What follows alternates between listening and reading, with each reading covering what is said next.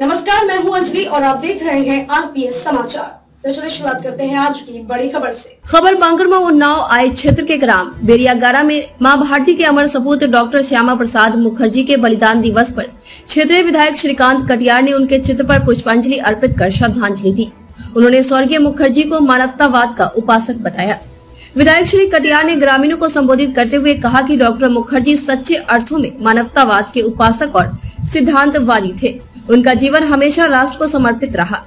कश्मीर को धारा 370 से मुक्त करने के लिए सर्वप्रथम डॉक्टर मुखर्जी ने ही वर्ष उन्नीस सौ बावन की विशाल रैली में संकल्प व्यक्त किया था। उन्होंने कश्मीर की आम जनता से वादा किया था कि वह उन्हें जल्द भारतीय संविधान प्राप्त कराएँगे, अथवा फिर इसी उद्देश्य के लिए अपने प्राण निछावर कर देंगे। तभी वर्ष उन्नीस सौ तिरपन की जम्मू कश्मीर की यात्रा के दौरान तत्कालीन सरकार द्वारा उन्हें गिरफ़्तार कर लिया गया और रहस्यमय तरीके से उनकी मौत हो गई।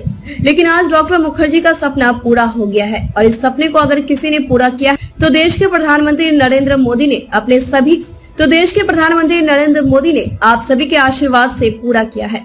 कार्यक्रम में नवदीप राठौर प्रधान, विकास गुप्ता, खुशीराम अंकित, गौतम आलोक निषाद, विजय निषाद सहित सैकड़ों ग्रामीण मौजूद रहे। रिपोर्ट जमीर खान। खबरों में अब तक बस इतना ही, मिलते हैं फिर ऐसी ही बड़ी खबर के साथ। तब तक के लिए नमस्कार और देखते रहिए आरपीएस समाचार।